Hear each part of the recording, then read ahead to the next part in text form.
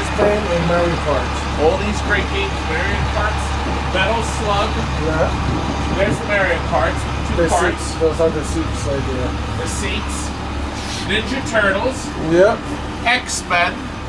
That's correct. They're not mine. They're not. They're going to a competitor. Yes. Don't step off the end. That'll not be. That is true. I want that person running. we have to have competitors, right? That makes the money go around, right? Money goes around, guys. That's all the physical activity. Oh, that's it. That's it. I'm done. He's going home. That's my whole day of exercising. Anyway, guess what he brought? Not one, but two Iron Man Vault editions. Let's go in and see them. Before we do that, they're about to pack up Sorcerer. I completely forgot the most important thing about this game, other than the fact that we still have to empty it. It's right here. Do you see this? This was still taped on the inside of the game. Can you read that? Sorcerer. That's the name of the game. Oops. There we are. Back on. I'll keep it away from it. It turns the light off if we get too close. Eastern Music. That was a distributor here in Philly. They purchased this brand new May 20th of 1985. Now the game was released in March of 85 and it went to their Capital City arcade. And look, it was signed for. And we're going to make sure that the new customer gets this. This machine was bought brand new and it went right into an arcade back in 1985. Now, That was very That's- unusual for these games, huh? well, pinball machines did did make their rounds at arcades, but what's unusual is that the original uh, uh, check sheet. Usually you throw that away. What's, what's the matter? I, I, What's the matter, tough guy? I felt so nostalgic. I said, "Look at that! We actually trace the history." Now, Usually let you rip it you. up like a tough guy on the camera. Well, this was machine was in our warehouse for years on the shelf, and they had taken a few parts out of it, some boards or something for other ones.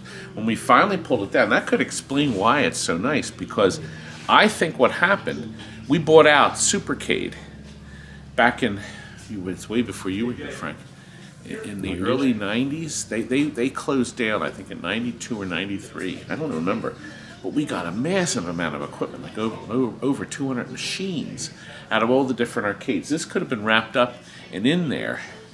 I unfortunately do not remember. But it's been in our warehouse for years, wrapped up because I knew it was missing the main board. And we didn't bother with it because the problem was is that main board is that tough one. That's System 9. Only four games use System 9, so you had to kind of find them. But anyway, we know where it was bought brand new. Look at that. It may have been in one private home over the years, but that's it. So the man getting this is probably a third owner. I mean, it's in pretty much perfect shape. So uh, these are the original stickers, by the way. See all these decals? It's not a repro set. That's the original set of stickers from Williams, 1985. Oh, listen, I did want to show you one more thing. I we skipped the video. Oh, his eyes. I always thought, oh, there we are. Do you see how there's a three-dimensional look? Really clever. There's a piece of plexi behind there, about an inch behind. So it looks like the sorcerer is hiding behind the brick wall. I thought that was really sharp. A little extra touches on this game. And of course the mirror sides are now reflecting down. I didn't I forgot the mirror sides. Isn't it lucky this didn't go out yet? The back glass, Frank, It's is perfect. gorgeous. It's perfect. Perfect. Beautiful. Gorgeous back glass. We had to revisit Sorcerer, didn't we? You don't think I should do another Harry Potter green screen? No. I'm not going to do that again. That took me forever. Oh, God. Where's the check? Anyway, now we're going to go up front and look at those Iron Mans. Look, Frank, two Vault editions. Not one, but two. Aren't they beautiful? Now, we have another snowstorm coming. Frank, I'll be able to sing again. uh, so we're trying to get these out before them. So Jonathan and Scott are going to be delivering this first Iron Man. We'll get this out. And then the second one, we will be doing our video. I'm just curious, Frank. Let's see what the serial numbers are. I bet they're real close. Let's look. One off. What? They're one off from each other. They're one off from each other. Oh, oh, oh, oh. I thought you said it went off. I would Pay attention. Stop thinking about what you want to say and listen for once in a while. Okay, now let, us look here. Uh, there's the model. Here it is, 415. Ah, and this is 416. Just like I told you. And when, when, when was it made? Oh, God, this is old. Oh! December 19th. These are old. Throw them in the Old trash. junk. anyway, and these have the Boldomatic systems. None of that stupid coffin lock anymore. Worst idea ever. Well, the good news is they are leg bolts, so I'm not happy with that, but oh well. Anyway, Jonathan! Oh, I didn't do it right. Jonathan! They can take these out, and then we're going to do that. So let's do that now.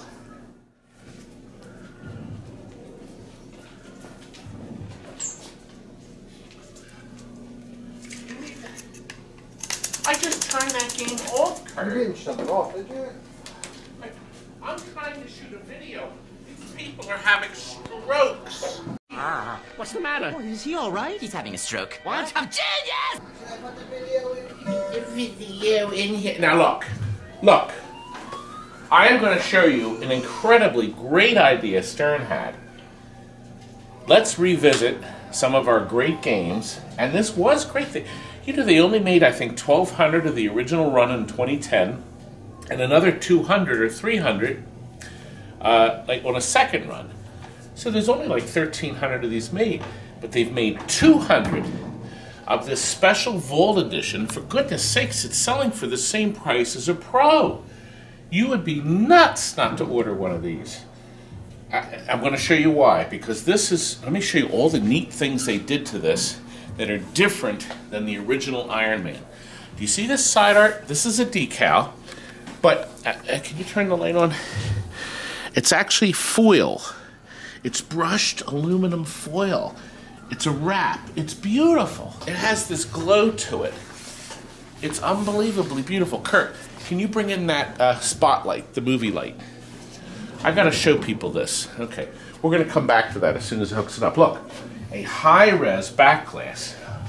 Unbelievable difference. And the same new speaker panel. See how it's set back? This head is all metal. It's actually a combination of wood and metal. The sides are wood, but the back part is all metal. It is using the original SAM system board system that originally came out with. So the wiring harness, all that is exactly the same as one of the pros. Here you go, here's your movie light. That, that's the wrong light. You little. You, Frank, this abuse, it's getting worse. You deserve it. You deserve it. Okay, he's gonna fix that up. Let me show you some other neat features. These three characters, yes, the same ones, but guess what? There's a big difference. These are solid molded pieces. They're no longer the toys you bought at the store that were just put on there. These are actually remanufactured for the game, and they're all solid. The Iron Monger here, Whiplash, and Whatchamabanger here. The War Machine. Okay, Kurt, Kurt has this. Look. Oh, this is neat. Look at the. Look, I want to see if you can show him how this glows. Now watch when we. I move the light down. Do you see this glow? It's like an, a beautiful aluminum. Look. Beautiful. God, it's gorgeous. You want to just leave you alone with the game for a while? I like beauty. I like innovation. And I like the fact that Stern put all this extra stuff in this. Now, obviously, the LED package is amazing. They had to do some new programming too, but everything's LED, top and bottom. Gosh, th- that alone is a three, four hundred dollar option, and they've included it. It's all at the same price, Frank. I guess that's why we sold so much. Let me see if I missed anything.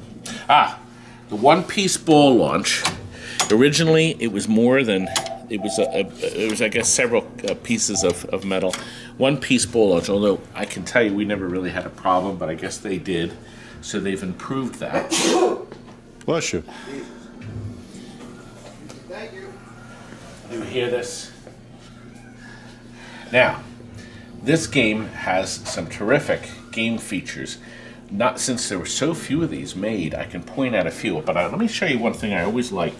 I always like these spinners that were kind of set way down in front. So your ball could actually miss them if, if you hit, depending on how your ball hit. But see, instead of having them right here in the lane, they actually lowered them. I thought that was a really clever idea. And you see, when your ball comes up here, if it doesn't go hard enough, it can drop down and still hit your flip your uh, spinner. Now that's how you light the Iron Monger. Notice he's up. He stays up until you start the game. That's kind of to show people how much uh, uh, all the features that the game has. There are two magnets, one here and here, that grab your ball and really fling this baby, as you're going to see.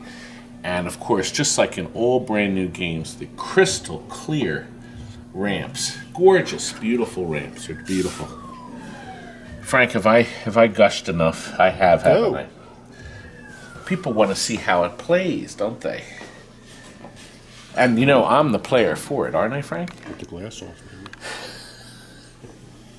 We, uh, to be honest with you, we only had one Pro that we sold. Uh, I guess when these came out, people weren't spending new money on pinball machines. What are you doing here, Kurt? Working on the games up front.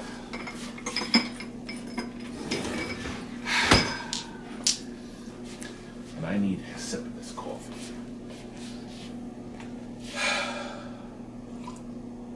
All that excitement, I had to stop to get a drink. Now I understand that you can update the color DMD. This is the uh, color kit for both the Sam and the White Star. However, uh, it doesn't have the extra bracket. See, because the head is different in this, you actually need the plexiglass option for the front of this. I was going to hook up the color one just so you could see how neat it looks, but this is the original Stern LED panel. It has all the little LED lights, and you can upgrade it now. Oh, I'm, I'm glad to see that because it looks like they're going to do that for all their games, Frank, isn't it? Let's load the game. My monger goes down. Oh, Now you get your monger up just by just by going on all three lanes.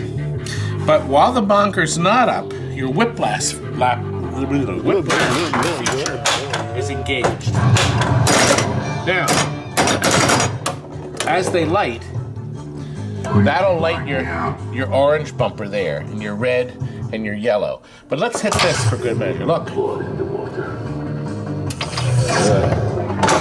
He wasn't happy with me doing that. Defeat the drone targets to light War Machine multi-ball. You heard what he said, Frank. Do you think I can do it? Am I that good? 90% thrust capacity. See, look, red targets spell your Iron Man. Look, I only need one more. And now I've officially spelled Iron Man. A multi-ball is now ready. I've officially done it. Here, let, let's do our monger. Here's one. And that has lit my yellow bumper. That is two. That is the orange. Really, the only thing the bumpers do is give you extra.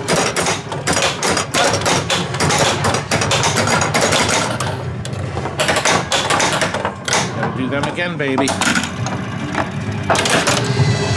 It throws it right there. See the post come up? Right in the center there. If I hit him, nice, isn't it nice? Now Stern has put some protectors here too on the side. Okay, so any kind of holding. And once you know longer, now the game spots a few letters initially. you don't have to hit them that much to get your multi-ball at first. But in later Monger versions, it might take a little bit more work. Look at Frank.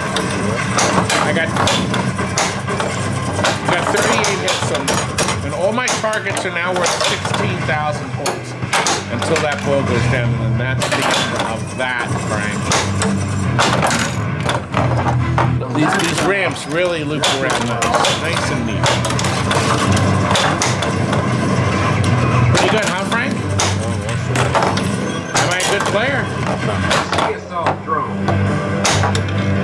Well, you know, I like innovation, and I think that's probably why they remade this because a lot of people never saw it, never played it. Gosh, with only 14 or 1500 regular editions, and most of them go overseas, you don't see this game anywhere. Frank, we only had one machine.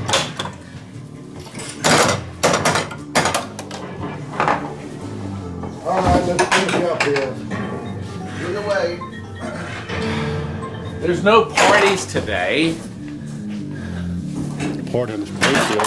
Kurt, can't, can't you just get out or do something or fix a game or a Pac-Man or Sector 16 underneath the arc reactor. Kurt wants to play the game. Do you know Kurt's an actual good player, aren't you? That's not from this one. Kill power. Smash my car.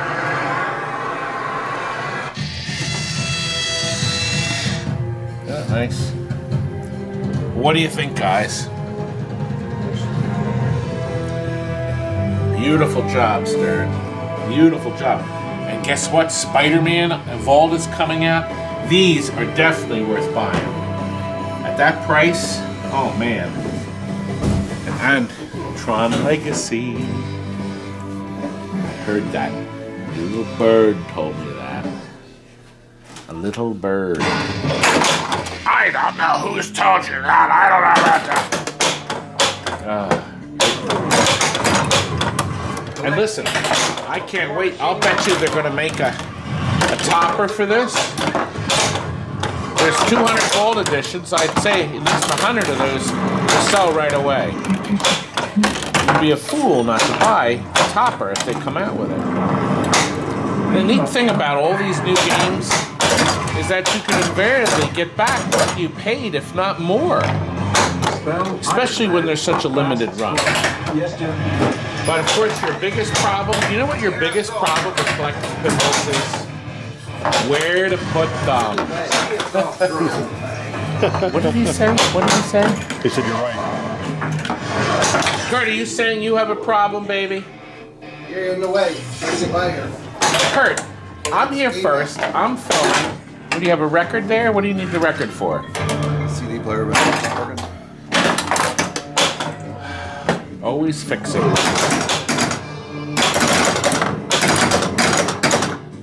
Is that a good one? A good record? Soul of Bobby Walnut Is it stereo at least? and stereo. Good. Digital. I'm just showing the people how beautiful this thing is. God, it's beautiful. Look, he's pissed. Oh, right down the toilet.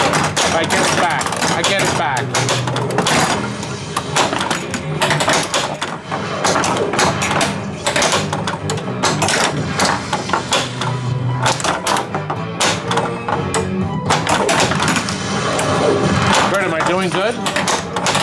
I didn't cheat at all in this ball. Uh-oh. I didn't hit whiplash. One last ball. I'm doing great. I got three million points. Four. I'm up to four million, Kurt. What, what's the free play? Four million? 400 million. Oh, look! I got the monger up. Oh, Yeah, hit that monger. Yeah. Ew. I hit him once, Kurt. oh. You think I can hammer into that monger? I'm gonna hammer that There's no washing machine at his house. Oh, was that a month ago? Now, guys, aren't you glad I brought the light in so you could see brushed aluminum sides? Beautiful job. Come on, let's look at this again. Brushed them, brushed them, brushed them. Kill power. It's really nice, Frank. Frank is just unimpressed. Do you think I should do a green screen? No. Don't no, no time to do one today. Listen, another game's going out. We got to go back to the Transformers. We're trying to get this stuff delivered before the snow. Yeah, the big one inch that's coming. Let's go back and do Decepticon.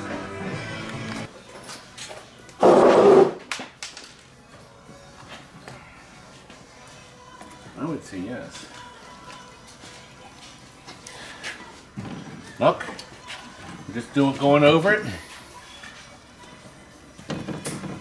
A limited edition, number 117 of the 125 Decepticon designer game originals. And look, Gary Stern signed it. It's a beauty, isn't it? Now, we just did our mod. So if you watched our Transformers mod to fix your center, it's very simple. You take out these two metal um, uh, washers that were here originally, and they're installed underneath. And it solves almost every issue with the ball getting stuck. So Tony, oops, Tony has installed them beautifully right there. This side, though, you have to get smaller ones for because See right this here? bracket's in the way. On the other side, though. Yeah, right under there, and that seems to solve the pitch problem. See how cleverly I have my hands here holding. Yeah, you usually have your hand holding the balls. I can't believe you talk to me that way. You know, people when they watch these videos are astonished how you talk to me. Oh, No, astonished is actually written that way in the Bible, by the way, the King James version. version. They don't say astonished, they say astonished. Is it possible you're doing a second NBA Fastbreak? Guess what this man discovered? That he really is stupid. Don't say that. You're insulting stupid people. Sorry. Show him what you discovered. Of the two here, this one that I'm working on now came out first. That one came out 4,000 units later. What you'll notice, there's nothing here. Much like Todd's head. What's in between those ears? Nothing there. There's no hole, there's no nothing. This is where the optic on that one runs through. Here, wait a minute. Let me pull this down. Oh, let me pull this exactly down. where the optic runs through on this one. They just ran it through the back on the other one. And they drilled a hole on the other side too, so there's two holes. Yeah. Two holes. There's a little bit of thing you didn't need to know. Anyway, if you have an NBA Fastbreak, if you run ahead and look and see if you have holes there, then it means you have a later model machine instead of an earlier model. so this is one of the early ones done. Things run in twos, just like Iron Man. And this will be ready for a video. A home use only. Nightmare on Elm Street. With lots of updates. He had to do a couple of little tiny. Hand back there. You wouldn't dare. A little t- couple tiny updates, little dots, right? That's the thanks to Johnny.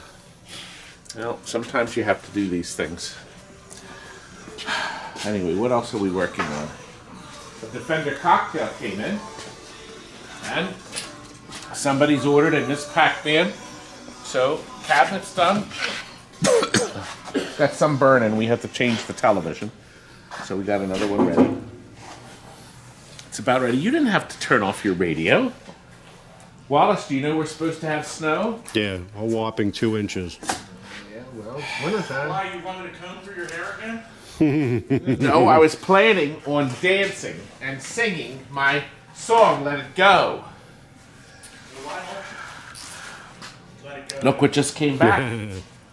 a Raven. It's one with our LEDs in it too. So it's got, got our 36 year sticker. Last year we sold it. Already traded in. Frank, it's time we go. That's the best thing I've heard all day. Should we do? How should we do this? I know. We can do the. No, Uh, how about no. then we'll just do this.